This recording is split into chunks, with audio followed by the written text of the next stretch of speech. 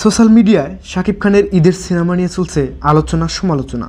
অনেকেই মনে করছেন, এবারের ঈদে শাকিব খানের কোনো সিনেমাই আসবে না।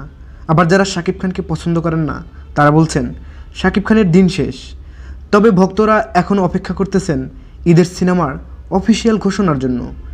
ইতিমধ্যে বিভিন্ন গ্রুপে গ্রুপে ভক্তরাও দাবি করছেন যেভাবেই হোক, শাকিব খান ঈদের সিনেমার জন্য প্রস্তুত হোক। এক ভক্ত বলছেন, শাকিব খান ঈদের মুভির আপডেট কী? তিনি কি ঘুমিয়ে সময় পার করছেন? এভাবে চললে দ্রুতই ঈদের সময় নিকটে আসবে। তখন তাড়াহুড়ো করে মুভি বানালে ছবির মান কেমন হবে বুঝতেই তো পারছেন। এবার ঈদে কিন্তু শাকিব খানের বিপরীতে প্রতিদ্বন্দ্বিতা করার মতো নায়ক চোখে পড়ছে।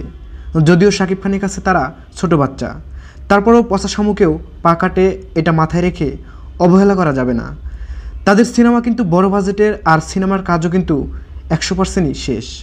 আর সাকিবের মুভির কোনো আপডেটই নেই। যদিও শাকিব খানের তেইশ দিনে সিনেমা বানানোর রেকর্ডও আছে। কিন্তু এটা দু হাজার বিশ সাল। এই বিষয়টা মাথায় রাখতে হবে। মাত্র উনচল্লিশ দিনে পাসওয়ার্ডের মতো বিগ বাজেটের কোয়ালিটিফুল সিনেমাও উপহার দিয়েছেন সুপারস্টার। কম বাজেটের সিনেমা আর কেউ দেখতে চায় না। সবাই চায় কোয়ালিটিফুল ভালো মানের সিনেমা। আমরাও চাই। আমাদের সুপারস্টার শাকিব খানের কাছে কোয়ালিটিফুল ভালো মানের সিনেমা। শাকিব খানের দ্রুত ঈদের মুভির অফিসিয়াল ঘোষণা দেওয়া উচিত। ভক্তরা হাজার চিল্লাচিল্লি করলেও এ বিষয়ে কিন্তু শাকিব খান এখনও চুপ। কিন্তু কেন তিনি চুপ? আপনার কি মনে হচ্ছে? ঈদের সিনেমার জন্য শাকিব খান একটা কিছু তো বলবে হ্যাঁ বা না। কিন্তু তিনি তো কিছুই বলছেন না। এ বিষয়ে আপনার মতামত কি?